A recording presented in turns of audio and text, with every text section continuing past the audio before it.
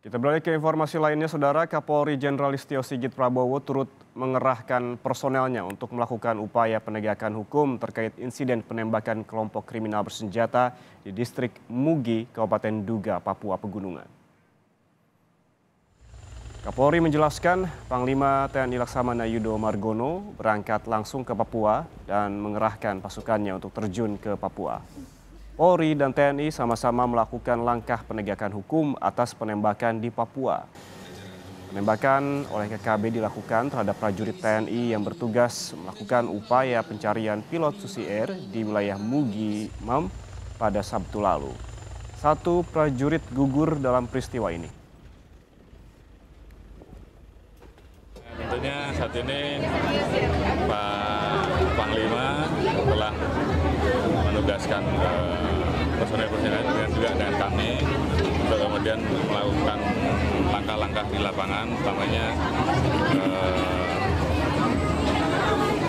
segera melakukan langkah-langkah penegakan hukum terkait dengan adanya penembakan-penembakan yang terjadi dan juga tentunya menjaga juga masyarakat yang ada di sekitar untuk tidak terdampak. Dan saat ini upaya-upaya Sementara itu, anggota Komisi 1 DPR fraksi Partai Golkar, Dev Laksono, menegaskan kelompok kriminal bersenjata atau KKB harus ditindak tegas. Dev juga mendorong agar pihak-pihak yang membantu KKB selama ini turut diburu.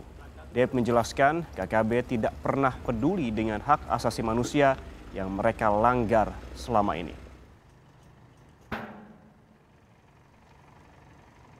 Semua pergerakan itu harus ditumpas, mulai dari mereka yang berbuat, mereka yang bekerja, mereka yang merekrut, mereka mendanai, dan mereka yang menyokong dari berbagai macam sisi. Mereka menginjak-injak hak asasi manusia para prajurit TNI, mereka merusak, mengganggu perdamaian di Papua, Sementara itu di Pacitan, Jawa Timur, pihak keluarga dan kerabat berkumpul di rumah duka di kediaman Pratu Miftahul Arifin.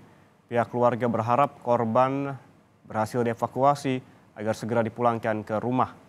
Prajurit TNI Angkatan Darat Pratu Miftahul Arifin gugur setelah menjadi kontak maksud kami setelah terjadi kontak tembak dengan kelompok kriminal bersenjata di wilayah Mugimam, Kabupaten Duga pada 15 April 2023. Almarhum juga meninggalkan seorang istri dan seorang anak yang masih berusia dua tahun.